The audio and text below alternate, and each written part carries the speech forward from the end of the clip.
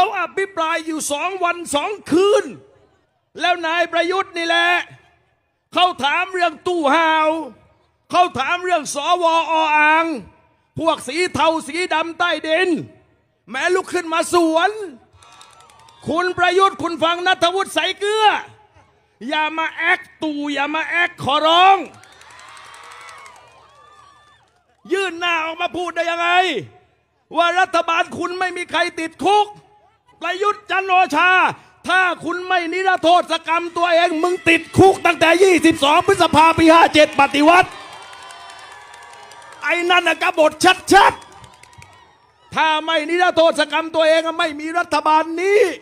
ประยุทธ์ประวิทย์อนุพงศ์พากันติดคุกหมดเข้าใจไหมเข้าใจไหมต้องให้สั่งให้สอน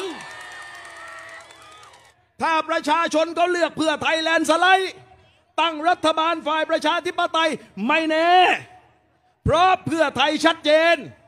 จะมีรัฐธรรมนูญฉบับประชาชน ให้ประชาชนเลือกสอสอรอมายกร่างขึ้นใหม่ใครจะไปรู้ล่ะ เกิดประชาชนยกร่างรัฐธรรมนูญขึ้นมาใหม่ บัญญัติว่ายกเลิกการนิรโทษกรรมคณะปฏิวัติทุกกรณี ถือว่าเป็นคดีกบฏติดคุกทันทีนะเว้ยเฮ้ย จะหาว่าคนคุกรุ่นพี่ไม่เตือน พี่น้องที่เคารพไอ้ผมนะไม่มีปัญหาหรอกครับ ติดคุกมาแล้วสามรอบ จะติดอีกสี่อีกห้าไม่มีปัญหา เพราะว่ามีภูมิต้านทาน เหมือนเป็นโควิดนั่นแหละครับ หลาย ๆ ครั้งเราไม่ชื่อไม่โดนเชื้อแล้ว แต่นายประยุทธ์จันโอชา คุณอย่าพยอง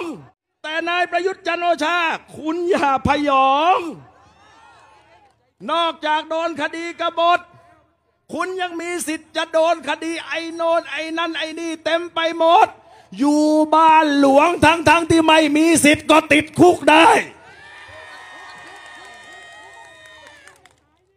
เอาเงินตู้หาว บริจาคเข้าพัก ไปเช่าที่สวที่ถูกกล่าวหาพัวพันค้ายาเสพติด พวกนี้ก็ติดคุกได้จำใส่กะลาหัวไว้ พี่น้องครับ ต้องร่วมแรงร่วมใจกันจริง ๆ เพราะสว 250 คนที่ประวิทย์เลือกให้ประยุทธ์ตั้ง เขาคำรามเสียงดังมาแล้ว ว่าต่อให้เพื่อไทยแลนด์สไลด์เกินครึ่ง เขาก็จะไม่ให้เป็นรัฐบาล ถ้าอุ้งอิงแพทองทานเป็นแคนดิเดตนายก เขาก็จะไม่ยกมือให้ พี่น้องครับ เรามีหลังพิงเดียวมีที่พึ่งเดียวคือประชาชนพักเพื่อไทย เดินหน้าด้วยผลงาน เดินหน้าด้วยนโยบาย แต่ถ้าประชาชนไม่โอบรับไว้ เราสร้างความเปลี่ยนแปลงไม่ได้ เราเอาชนะประยุทธ์ กับพักพวกและสว250 คนไม่ได้ ดังนั้นเลือกตั้งเที่ยวนี้ รักใครพักไหนก็รักไปเถอะครับ แต่เวลากากาเพื่อไทยเท่านั้นชนะประเด็จการเดินหน้าประชาธิปไตย จึงต้องชวนพี่น้องไงครับ คราวนี้คู่แข่งตัวจริงคือ 250 สว แล้ว 250 สว เขาไม่คิดว่าใครเป็นคู่ต่อสู้ นอกจากพักเพื่อไทย เรื่องมันมีอยู่เท่านี้ ไม่ซับซ้อนเลยครับ แล้วนายประยุทธ์ เวลานี้กับพักเพื่อไทย เราแบกน้ำหนักมากนะครับ ประยุทธ์หาเสียงแค่ให้ได้ยี่ห้าให้มีสิทธิ์เสนอชื่อตัวเองเป็นแคนดิเดตนายกก็พอแล้ว แต่เพื่อไทย ต้องหาเสียงให้ได้ 250 บวกบวก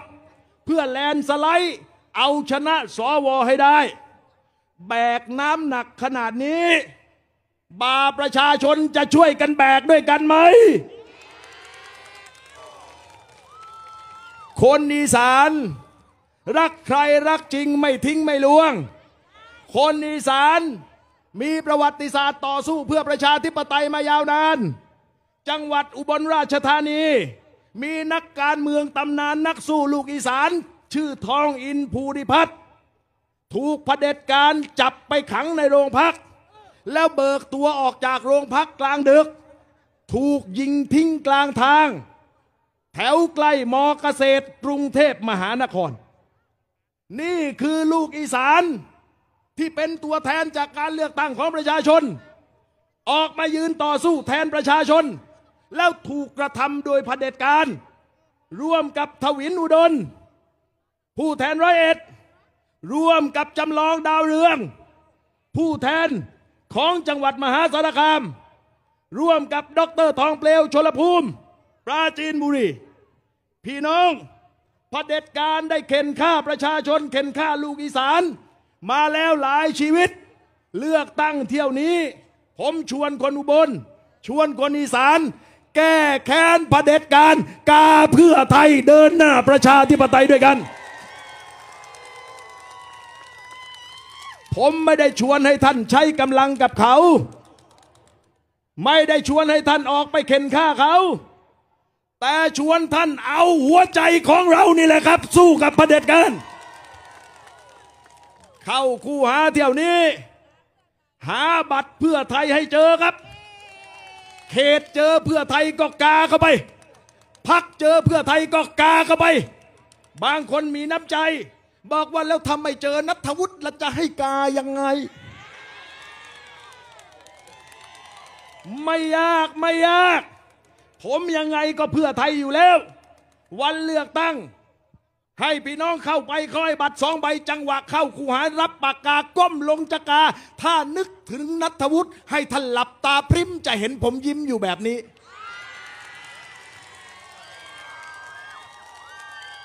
กายังไงก็โดน ไม่เคยเจอนะครับคำมืดดึกดื่นแล้ว พี่น้องก็ยังไม่กลับ อยู่กันหนาตาหนาแน่น เชื่อว่า นี่คือความต้องการแสดงพลังให้เห็น เชื่อว่า นี่คือการประกาศศักดิ์ศรีของประชาชน สว อย่ายุ่ง ตูอย่าห้าวถ้าตูห้าวเจอเต้นหวดแน่นอนจำไว้